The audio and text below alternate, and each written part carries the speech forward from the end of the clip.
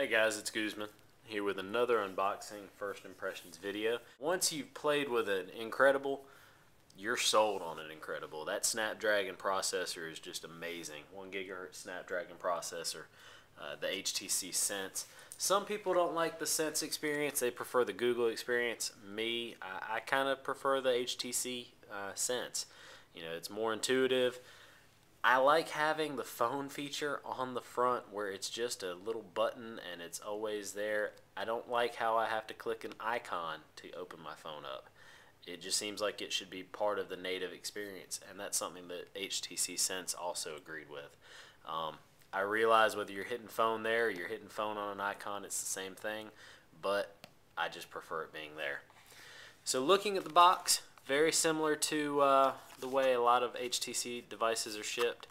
You know, good size, sturdy cardboard box. Says Incredible on the side. You've got your um, barcodes, IMEIs, um, package contents, which we're going to look through. Tells you a little bit of legalese, and then on the bottom all the FCC compliant information. On the back, same uh, same design pretty much. Front just standing straight up on the back. It's kind of cocked to the sideways. You've got your little Verizon subtle hints there uh, with their logos. Alright, let's get this thing open.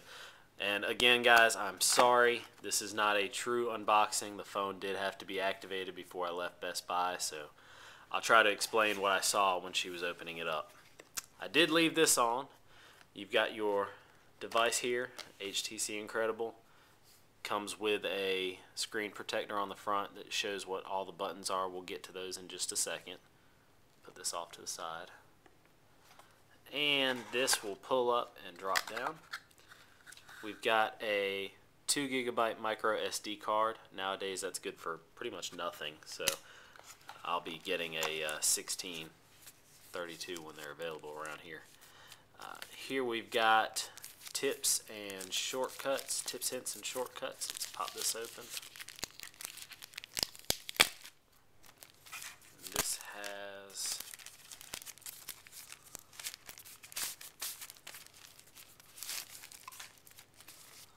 some Droid Incredible Verizon Access Manager software, so I guess that would be if I want to tether, that I'm sure they'll charge me for. Some consumer information, some product safety and warranty. Put that off on the side. And then we can lift this up and out of the way. And we have a data cable.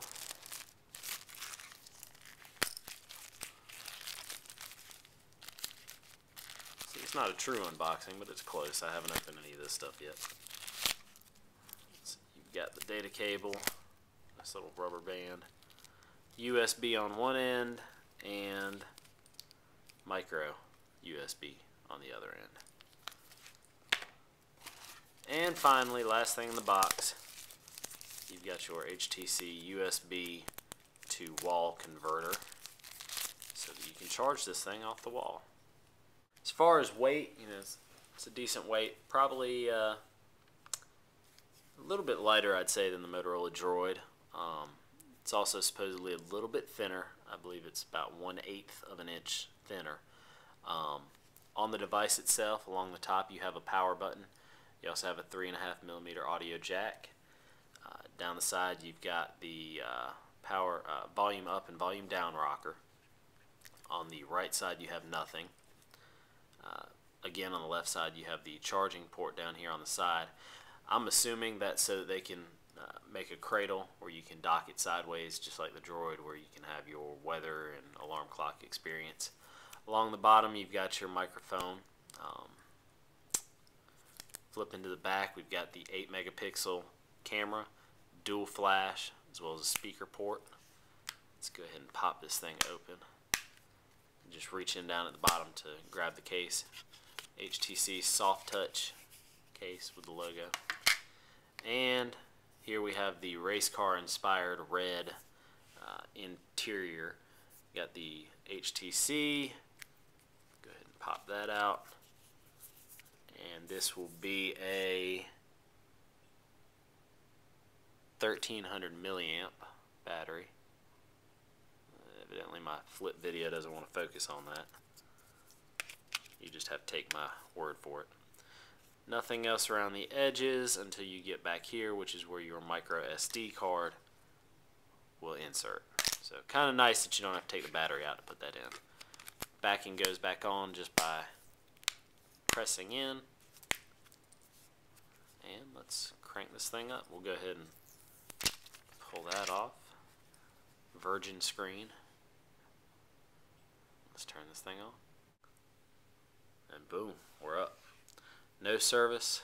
Let's see when it pops up. Verizon Wireless. Preparing the card. Drag that down.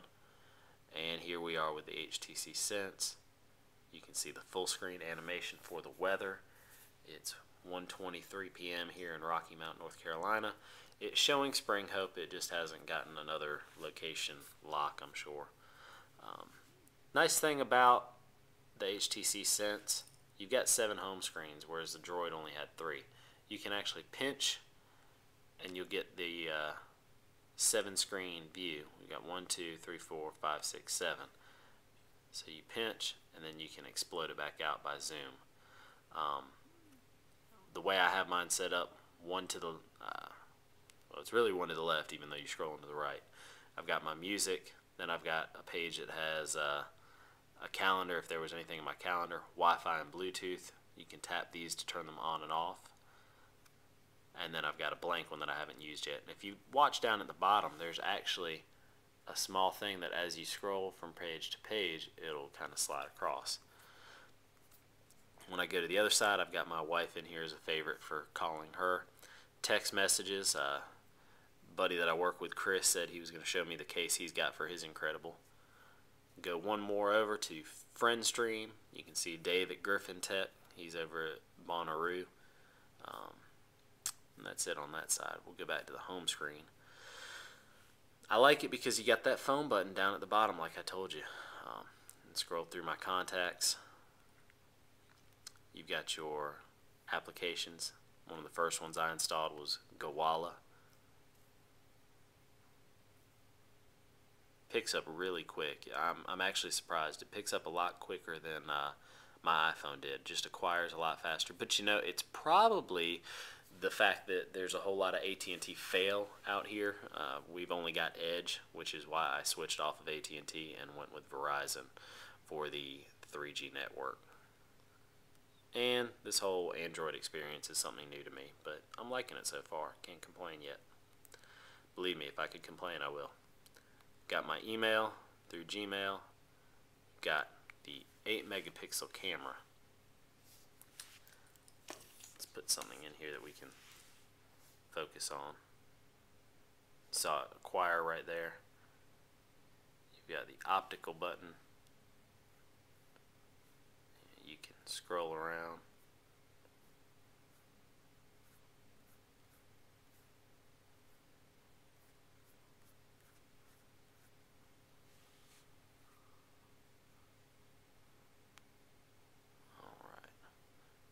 Then just take a button, all you got to do is push the optical button. It'll show you what you got. You can just go ahead and delete it if you don't want it. And then back back out. Um, of course, it's got the Android market. It's running Android 2.1. Should get the Froyo 2.2 upgrade. I believe it's going to have to go through HTC first so they can mold their Sense experience on top of it.